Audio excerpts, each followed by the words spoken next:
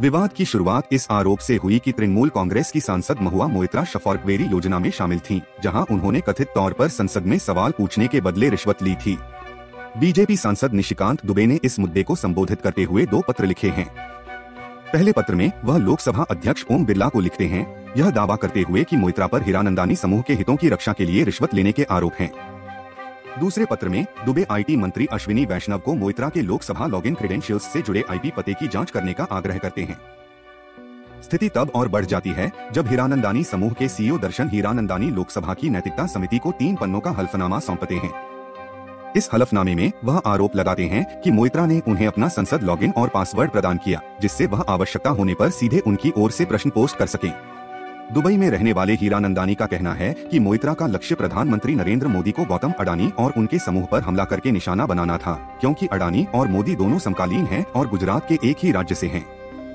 हलफनामे के जवाब में मोइत्रा इसे मज़ाक बताते हुए खारिज कर देती है वह आरोप लगाती हैं कि पत्र प्रधानमंत्री कार्यालय, पीएमओ, द्वारा तैयार किया गया था और दर्शन हीरानंदानी को इस पर हस्ताक्षर करने के लिए मजबूर किया गया था घटनाओं के इस क्रम से महुआ मोइत्रा से जुड़े गए शफॉर्कवेरी मुद्दे के आसपास उभरते विवाद और आरोपों पर प्रकाश पड़ता है। इन आरोपों ने सांसदों के नैतिक आचरण और व्यक्तिगत लाभ के लिए अपनी स्थिति के दुरुपयोग की संभावित संभावनाओं के बारे में चिंताएँ जताई हैं। इस वीडियो में हम संसद में प्रश्न उठाने की प्रक्रिया और नैतिकता समिति की भूमिकाओं को समझेंगे। संसद में प्रश्न उठाने की प्रक्रिया क्या है? प्रश्न उठाने की प्रक्रिया, लोकसभा में प्रक्रिया और कार्य संचालन के नियम 32 से चौवन और लोकसभा अध्यक्ष के निर्देशों के निर्देश 10 से 18 द्वारा शासित है। प्रश्न पूछने के लिए एक सांसद को सबसे पहले लोकसभा के महासचिव को संबोधित करते हुए एक नोटिस देना होगा, जिसमें उनके प्रश्न पूछने के इरादे की सूचना होगी। नोटिस में आमतौर पर प्रश्न का पाठ, उस मंत्री का आधिकारिक पदनाम जिसके लिए प्रश्न है, जिस तारीख को उत्तर वांछित है और प्राथमिकता का क्रम शामिल होता है, यदि सांसद एक ही दिन के लिए प्रश्नों के नोटिस से अधिक देता है। सांसद एक दिन के लिए अधिकतम पाँच प्रश्न नोटिस, मौखिक और लिखित दोनों दे सकते हैं। इस सीमा से अधिक के नोटिसों पर उसी सत्र के भीतर बाद के दिनों के लिए विचार किया जाता है।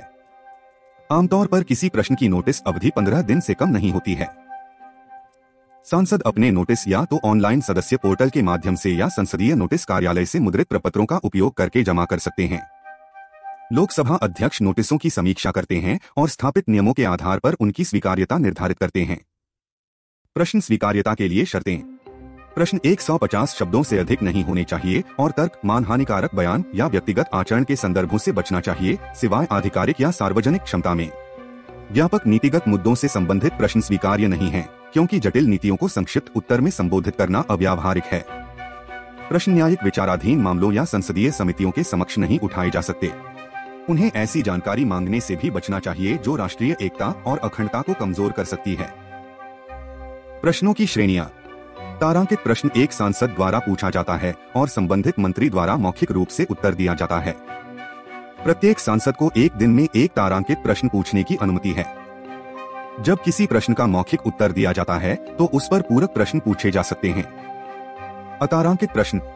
सांसद लिखित उत्तर माँगता है, जिसे संबंधित मंत्री द्वारा सदन के पटल पर रखा गया समझा जाता है और पूरक प्रश्न नहीं पूछे जा सकते। अल्प सूचना प्रश्न। ये सार्वजनिक महत्व के किसी अत्यावश्यक मामले पर होते हैं और मौखिक उत्तर मांगा जाता है। ऐसा प्रश्न पूछने के लिए न्यूनतम 10 दिनों से कम का नोटिस निर्धारित किया गया है। निजी सदस्य से प्रश्न।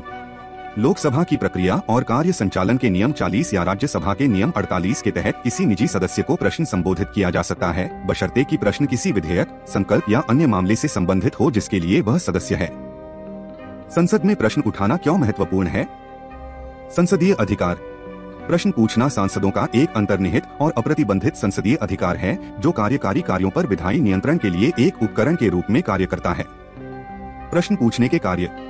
यह अभ्यास सांसदों को सरकारी गतिविधियों पर जानकारी प्राप्त करने, नीतियों की आलोचना करने, सरकारी कमियों को उजागर करने और मंत्रियों को आम भलाई के लिए कदम उठाने के लिए प्रेरित करने की अनुमति देता है। सरकार का दृष्टिकोण। सरकार के लिए प्रश्न नीतियों और प्रशासन के संबंध में जनता की भावना के बारे में अंतर्दृष्टि प्रदान करते हैं। वे संसदीय आयोगों, जाँच या कानून के अधिनियमन का गठन कर सकते हैं। आगे की राह। संविधान के अनुच्छेद 75 के तहत संसद में प्रश्न पूछना सदन के सदस्य का एक संवैधानिक अधिकार है। इस दृष्टि से देखा जाए तो संसद में प्रश्नकाल एक अलग स्तर पर खड़ा है। एक तरह से, हर प्रश्नकाल प्रत्यक्ष लोकतंत्र के संचालन का प्रकटीकरण है, इस अर्थ में कि जनता का प्रतिनिधित्व सीधे सरकार से शासन के मामलों पर सवाल करता है, और सरकार सदन में प्रश्नों का उत्तर देने के लिए कर्तव्यबद्ध है। संबंधित अधिकारियों को भी इस बात का अच्छा कारण बताना चाहिए कि किसी प्रश्न को अस्वीकार क्यों किया जाना चाहिए। सदन के विशेषाधिकार के कारण इसका कारण भी आरटीआई सूचना का अधिकार के माध्यम से नहीं पहुँचा जा सकता है। इसे अदालत में ले जाना भी मुश्किल है। आचार समिति। लोकसभा की आचार समिति ने सांसद को नकद प्रश्न घोटाले के संबंध में उपस्थित होने के लिए कहा है। लोकसभा आचार समिति 2015 में सांसदों के नैतिक और आचार आचरण की निगरानी के लिए जनादेश के साथ अस्तित्व में आई। कार्य, सांसद के अनैतिक आचरण से संबंधित शिकायतों की जाँच करें और जैसी बात, उचित समझे सिफारिशें करें। सदस्यों के लिए आचार संहिता तैयार करना और संशोधन या परिवर्धन सुझाना। संरचना, लोकसभा आचार समिति अध्यक्ष द्वारा नियुक्त पंद्रह सदस्य, राज्यसभा आचार समिति क्रमशः सभापति द्वारा नियुक्त नौ सदस्य। कार्यकाल एक वर्ष। शिकायतों की प्रक्रिया, कोई भी व्यक्ति किसी अन्य लोकसभा सांसद के माध्यम से किसी सदस्य के खिलाफ शिकायत कर सकता है। निष्कर्ष। संसद में प्रश्न उठाना एक महत्वपूर्ण प्रक्रिया है, जो सांसदों को सरकार को जवाबदेह ठहराने और लोगों की आवाज़ उठाने की अनुमति देती है। यह प्रक्रिया सरकार को जनता की भावना को समझने और बेहतर नीतियाँ बनाने में भी मदद करती है। The parliament of India exercises control over the functions of the council of ministers through first adjournment motion. Second, question r third supplementary questions select the correct answer using the code given below correct answer is option d Adjournment motion is introduced in the parliament to draw attention of the house to a definite matter of urgent public importance. It interrupts the normal business of the house, thereby making it a device of censure against the government. Hence, first is correct. Question R is a tool of parliamentary oversight over the administration or executive. During question R, the government is answerable for all its acts of omission and commission to the parliament. There are four types of questions, start questions, unstarred questions, short notice question and question to private member. Hence, second is correct. Under the start question, an oral answer is required from the minister and the members are allowed to ask the supplementary questions. Hence, third is correct. Therefore option D is the correct answer.